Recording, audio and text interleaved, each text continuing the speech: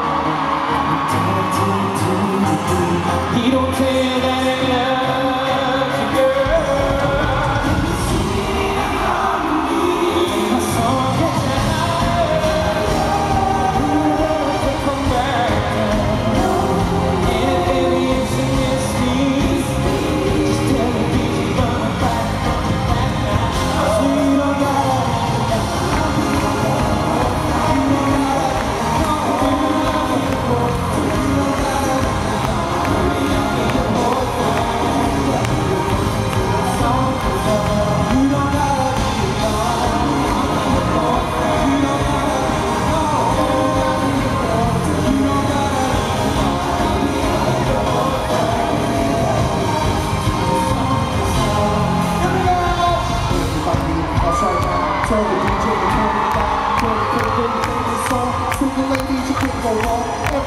in house right now.